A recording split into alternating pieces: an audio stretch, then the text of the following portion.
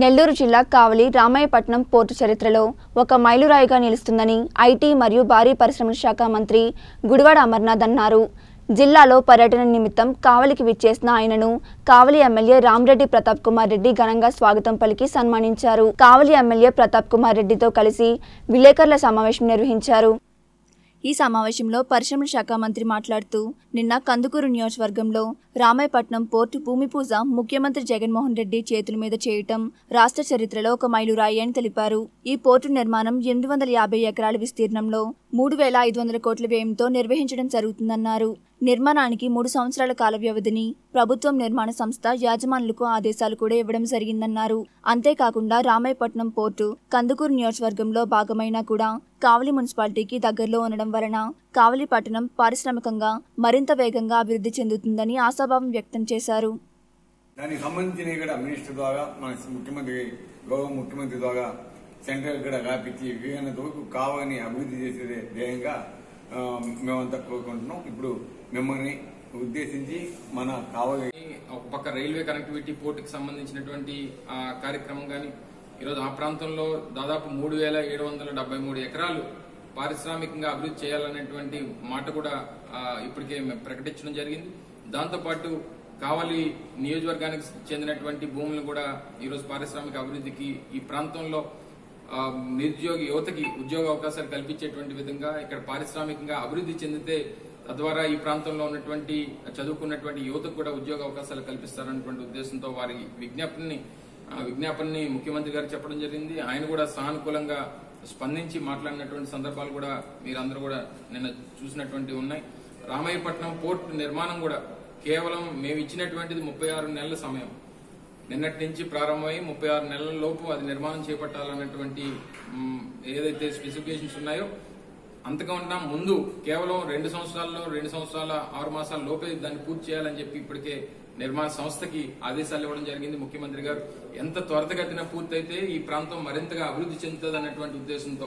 ఆ రోజు రాజశేఖర రెడ్డి గారు ముఖ్యమంత్రిగా ఉన్నప్పుడు కృష్ణపట్నం పోర్టు నిర్మాణం ఏ రకంగా చేశారు ఈ రోజు రేపు జగన్మోహన్ రెడ్డి గారి నేతృత్వంలో ఈ ప్రాంతం కూడా రామయ్యపట్నం ద్వారా అభివృద్ధి చెందాలన్నటువంటి జగన్మోహన్ రెడ్డి గారి ఆలోచన విధానానికి అనుగుణంగా. దాదాపు నాలుగు బెర్తులతో ప్రారంభమైనటువంటి ఈ రామయ్యపట్నం పోర్టు రేపు ఫర్దర్ ఇంకా ఎక్స్పాన్షన్కి వెళ్ళినప్పుడు పది బెర్తుల వరకు ఎక్స్పాండ్ చేసుకునేటువంటి దానికి అవకాశం కల్పిస్తూ ఆ డిజైన్స్ కూడా చేసినటువంటి సందర్భాలు మీరందరూ కూడా చూసారు ఇప్పటికే కావాల్సినటువంటి వర్క్ ఫోర్స్ కానీ కావాల్సినటువంటి మెషినరీ కానీ పూర్తి స్థాయిలో అంటే పూర్వం ఉన్నటువంటి ప్రభుత్వాలు మీరు చూస్తుంటారు. నిన్న మొన్న వచ్చినటువంటి కథనాలు కూడా మీరు చూసారు రామాయపట్నం పోర్టుకి శంకుస్థాపన ముఖ్యమంత్రి గారు చేస్తున్నారు అన్నటువంటి మాట చెప్పినప్పుడు మేము ఆల్రెడీ చేశాం కదా. మేము ఆల్రెడీ చేసినటువంటి దానికి మళ్ళీ మీరు శంకుస్థాపన చేయడం ఏంటి? మేము చేసినటువంటి దానికి మళ్ళీ మీరు భూమి పూజ చేయడం ఏంటి అనేటువంటి విమర్శలు చూశారు.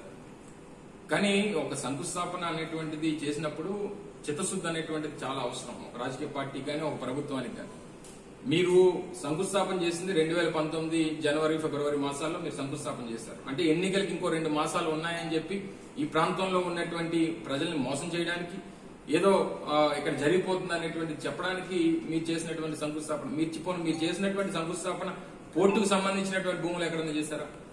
ఆ రోజు మీరు శంకుస్థాపన చేసి తెలుగుదేశం పార్టీ చంద్రబాబు నాయుడు ముఖ్యమంత్రిగా ఉన్నప్పుడు చేసినటువంటి శంకుస్థాపన కనీసం ఆ రోజుకి ఒక సెంటు భూమైనా ఎక్విషన్ అనేటువంటి జరిగిందా? ప్రాజెక్ట్ రిపోర్ట్ అనేటువంటి తయారైందా? ఎన్విరాన్మెంట్ క్లియరెన్స్ అనేటువంటి జరిగాయా? ఫైనాన్షియల్ అసిస్టెన్స్ అనేటువంటిది ఏ రకంగా తీసుకుంటారనేటువంటి చెప్పారా? కనీసం కా- మొట్టమొదటిసారిగా రాష్ట్ర పరిశ్రమలు ఐటీ శాఖ మంత్రిగా బాధ్యతలు తీసుకున్న తర్వాత మొట్టమొదటిసారిగా కావలి నియోజకవర్గానికి పెద్దలు స్థానిక శాసనసభ్యులు ప్రతాపన్న ఆహ్వానం మేరకు వారి ఆతిథ్యంలో ఈరోజు రావడం కావలిలో ఉన్నటువంటి మా వైఎస్ఆర్ కాంగ్రెస్ పార్టీ నాయకత్వాన్ని వైఎస్ఆర్ కాంగ్రెస్ పార్టీ సీనియర్ లీడర్స్ని అందరినీ కూడా కలుసుకోవడం ఆనందంగా భావిస్తూ ఈరోజు నెల్లూరు పట్టణంలో నెల్లూరు రూరల్ నియోజకవర్గానికి సంబంధించినటువంటి ఒక ఇరవై మూడు కోట్ల రూపాయలు మా ఇండస్ట్రీస్ డిపార్ట్మెంట్ నుంచి ఆటో నగర అభివృద్ధి కోసం చేసినటువంటి కార్యక్రమాలు గడిచినటువంటి కాలంలో దివంగత నేత గౌతమ్ అన్న నేతృత్వంలో ఫౌండేషన్ వేసినటువంటి ఆ కార్యక్రమానికి ప్రారంభోత్సవం చేసేటువంటి దానికి ఈరోజు నెల్లూరు రావడం జరిగింది. నిన్న ఒక చారిత్రాత్మకమైనటువంటి రోజు. నెల్లూరు చరిత్రలో ఒక చారిత్రాత్మకమైనటువంటి రోజు. ఎందుకంటే ఎవరు ఊహించినటువంటి విధంగా ఎవరు ఎన్నో సంవత్సరాలుగా ఈ ప్రాంత ప్రజానికం రామాయపట్నం పోర్టు రావాలని ఈ ప్రాంతం అభివృద్ధి చెందాలని ఈ ప్రాంతం పారిశ్రామికంగా మరింతగా ముందుకు వెళ్ళాలని చెప్పే ఉద్దేశంతో ఏదైతే కలలు కన్నారో ఆ కలలు కన్నటువంటి ఆ ఉద్దేశాన్ని సాకారం చేసినటువంటి రోజు నిన్న ముఖ్యమంత్రి జగన్మోహన్ రెడ్డి గారి చేతుల మీదుగా రామాయపట్నానికి భూమి పూజ చేసేటువంటి కార్యక్రమాన్ని చేసినటువంటి సందర్భంలో నిన్న అనేక అంశాలని గౌరవ ముఖ్యమంత్రి గారు చెప్పడం జరిగింది. దాదాపు మూడు వేల ఐదు వందల కోట్ల రూపాయలతో రామాయపట్నం పోర్ట్ నిర్మాణం జరుగుతూ ఉంది. దాదాపు ఎనిమిది వందల యాభై ఎకరాలకు సంబంధించినటువంటి ఆ విస్తీర్ణంలో ఈరోజు ఈ పోర్టు నిర్మాణం జరుగుతూ ఉంది. దాంతోపాటు ఏదైతే కందుకూరు నియోజకవర్గానికి సంబంధించినటువంటి రామాయపట్నంతో పాటు ఏది సౌత్ బ్రేక్ వాటర్స్కి ఆనుకుని ఉన్నటువంటి ప్రాంతం అంతా కూడా కావలి నియోజకవర్గానికి సంబంధించినటువంటి దాంట్లో వేల ఎకరాల భూమి ఉంది. ఆ ప్రాంతం కూడా అభివృద్ధి చెందాలి పారిశ్రామికంగా అనేటువంటి గౌరవ శాసనసభ్యులు ప్రతాపన్న అభ్యర్థన మేరకు నిన్న ముఖ్యమంత్రి జగన్మోహన్ రెడ్డి గారు కూడా ప్రకటన చేసినటువంటి సందర్భాలు కూడా మీరు అందరూ చూశారు.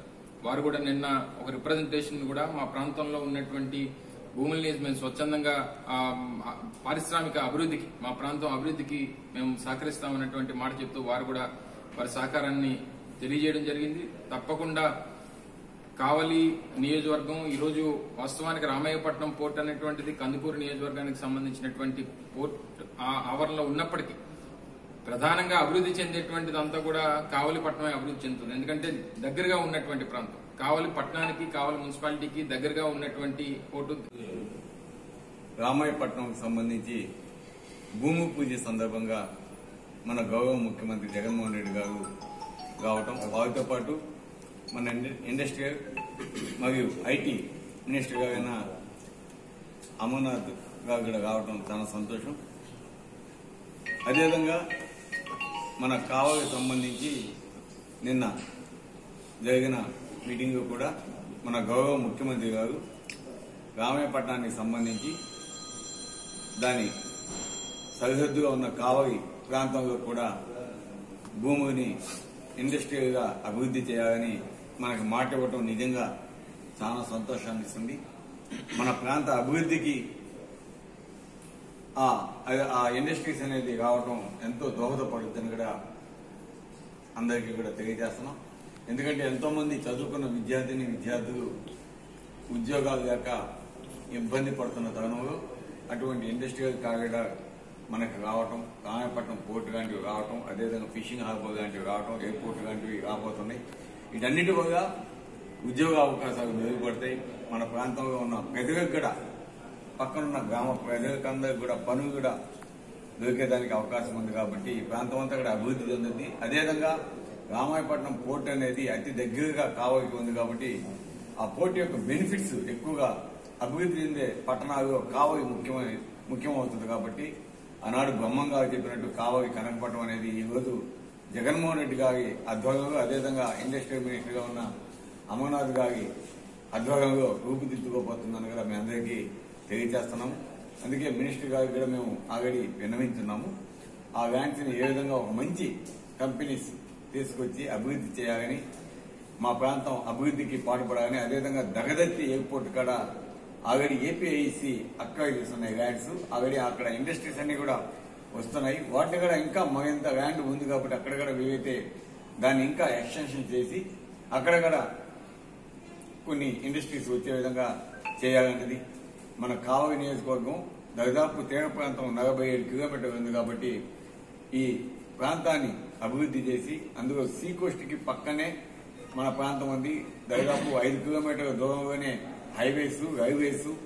అదేవిధంగా రామాయపట్నం కృష్ణపట్నం మధ్యలో ఎయిర్పోర్టు ఇవన్నీ కూడా కావలికి రావటం నిజంగా చాలా సంతోషం.